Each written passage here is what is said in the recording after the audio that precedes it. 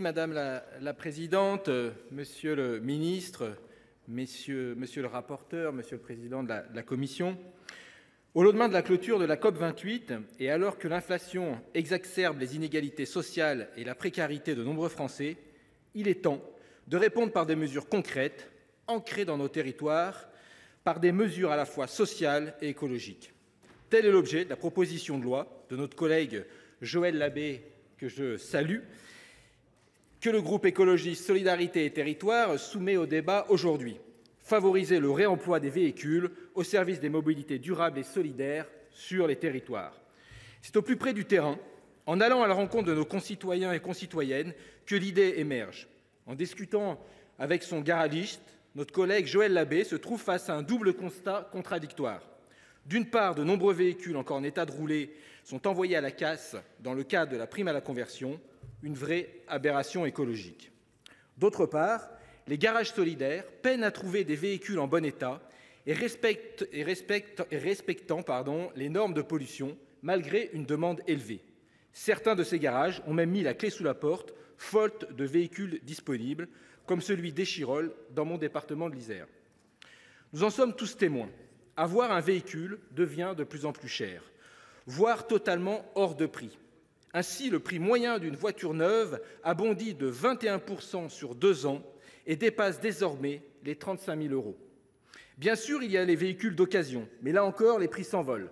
Une Renault Clio, le modèle d'occasion le plus coté, coûte désormais en moyenne 14 400 euros, plus 13% en un an. En y ajoutant le coût des carburants et des assurances, avoir un véhicule devient donc hors de portée pour de nombreux ménages.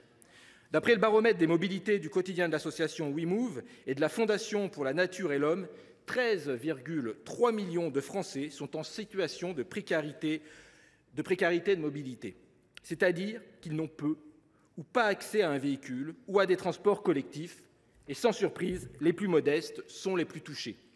Bien sûr, en tant qu'écologistes, nous n'apprécions pas la civilisation de la voiture, l'isolement, la pollution et l'étalement urbain qu'elle génère.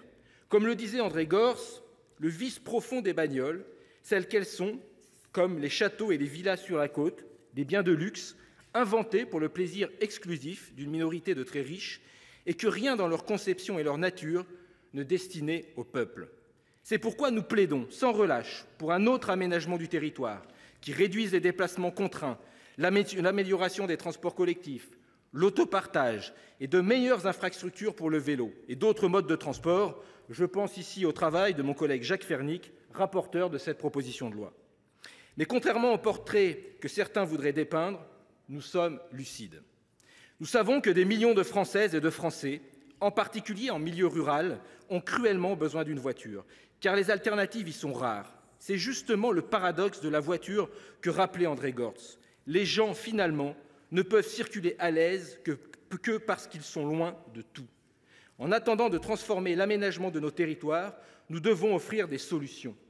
Or, en milieu rural, ne pas avoir de voiture signifie souvent ne pas pouvoir accéder aux services publics, au commerce, à la vie sociale, à l'emploi. C'est être tout simplement assigné à résidence. Ainsi, 28% des demandeurs d'emploi ont renoncé au moins une fois à un emploi ces cinq dernières années faute de moyens de transport. Alors que nous évoquons souvent dans cet hémicycle les fameux emplois en tension que les chômeurs ne voudraient pas occuper, je vous invite, mes chers collègues, à réfléchir aux barrières qui empêchent de nombreux demandeurs d'emploi d'accepter les propositions des employeurs. L'absence de mobilité en est une. Pour illustrer mon propos, je voudrais vous citer l'exemple de Simone. Simone qui vit dans la région de Saint-Nazaire, habitant à l'extérieur de la ville. Elle n'a pas de transport en commun qui coïncide avec ses horaires de travail, quelques heures de ménage à Auchan. Elle doit en outre s'occuper d'un enfant diabétique et l'emmener régulièrement à l'hôpital de Saint-Nazaire, situé à 60 km de la ville. Surendettée et seule, elle ne peut compter que sur elle-même et a un besoin crucial de son véhicule. Sa Clio de 1999 est usée. Elle dépasse les 35, 350 000 km et son contrôle technique est dépassé d'un an. N'ayant pas les moyens pour entretenir sa Clio, celle-ci est de plus en plus dangereuse à conduire. Freins, pneus, suspension sont dans un sale état. Pendant une visite dans un garage solitaire, le démarreur manque de prendre feu. Heureusement, Elle a pu bénéficier d'une location d'un véhicule en bon état pour 30 euros par mois. Des cas comme celui de Simone, notre pays en compte des centaines de milliers. Bien souvent, les victimes de cet aménagement du territoire incohérent et de l'étalement urbain sans limite sont les femmes seules habitant en zone rurale. N'importe quel garage solidaire pourrait en témoigner. Ces garages solidaires sont justement le dernier recours pour celles et ceux qui n'arrivent plus à acheter ou à entretenir leur véhicule faute de moyens. Ces 150 structures réparties sur tous les territoires permettent aux plus précaires de pouvoir rouler en leur louant ou en préparant des véhicules à des prix abordables. Mais ils sont débordés face à la demande alors que le prix des véhicules d'occasion s'envole, l'offre n'arrive plus à suivre la demande. Il existe pourtant un vaste vivier de véhicules, ni trop anciens, ni trop polluants, tout à fait en état de rouler encore quelques années, moyennant parfois quelques petites réparations. Ce vivier, c'est la prime à la conversion. Parmi ces véhicules, notre proposition vise à récupérer ce qui fonctionne à l'essence et classé critère 3 ou mieux. Au total, cela représente environ 16 000 véhicules par an. Pour les garages solidaires et pour les bénéficiaires, c'est une aide décisive. Outre son intérêt social, cette mesure est aussi et évidemment écologique. Je sais que certains s'interrogent, voire ironisent sur le fait que des écologistes souhaitent mettre à disposition des vieilles voitures à destination des plus pauvres. Mais regardons la réalité en face. Chez les 10% des Français les plus précaires, un véhicule sur 5 a plus de 27 ans d'âge et est donc classé critère 5 ou plus. En mettant à disposition de ces ménages des voitures plus récentes et moins polluantes, ce sont en réalité les vieux véhicules très polluants que nous sortirons de la circulation. Le gain environnemental est d'autant plus grand que cette mesure suit une logique d'économie circulaire. La destruction des véhicules et la construction de nouveaux modèles émettent beaucoup plus de gaz à effet de serre que le réemploi de véhicules peu polluants pour deux à quatre ans. S'ajoute à cela le fait que les véhicules neufs sont souvent importés et viennent de loin. L'atout environnemental de cette proposition de loi s'avère donc indéniable. Je sais que certains préféraient que les véhicules à destination des plus précaires soient électriques, qu'il s'agisse du futur leasing social promis par le gouvernement ou du rétrofit de véhicules anciens. Je tiens à les rassurer. Notre proposition de loi est complémentaire à ces approches. Le leasing, c'est-à-dire une location de voiture électrique pour 100 à 150 euros par mois, est avec un engagement sur plusieurs années, répond à une demande. Mais d'autres personnes ont besoin de solutions moins coûteuses, sans engagement et avec un accompagnement social. C'est justement ce que font les garages solidaires. Quant au rétrofit, il en est question dans l'article 2 de notre proposition de loi, afin d'envisager le changement de motorisation de ces véhicules.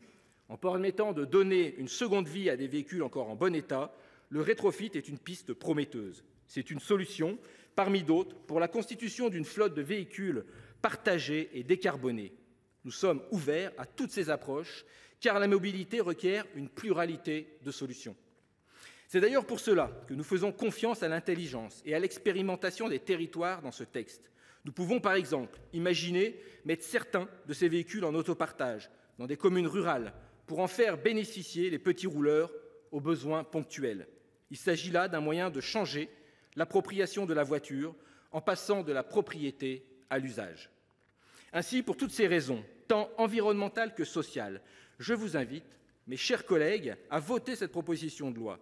J'ai confiance au bon sens que nous sommes nombreux à partager sur ces bancs, qui a déjà permis de faire adopter cette mesure durant l'examen de la loi climat et résilience, lorsque notre collègue Joël Labbé avait présenté l'abbé mobile sous forme d'amendement. Je tiens d'ailleurs ici à le remercier pour son travail et d'ailleurs pour l'ensemble de son œuvre, ainsi que la commission de l'aménagement du territoire et du développement durable, qui a adopté ce texte à l'unanimité. Par ce vote, nous espérons maintenant passer une nouvelle étape et pouvoir transmettre cette PPL à l'Assemblée nationale le plus rapidement possible. Je laisse mes collègues Jacques Fernic et Daniel Salmon compléter mes propos, mais je voulais vous en donner les grandes lignes pour vous convaincre de l'intérêt de ce texte.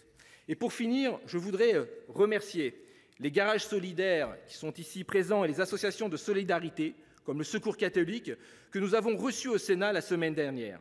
Je sais qu'ils suivent avec attention nos débats. Je sais qu'ils suivent pardon, avec attention nos débats aujourd'hui et attendent beaucoup de votre vote. Montre-leur que la Chambre des territoires est à l'écoute de leurs demandes et sait trouver des solutions concrètes, originales et intelligentes, conciliant social et écologie. Ne les laissons pas au bord de la route Monsieur le ministre, choisissons la baie mobile.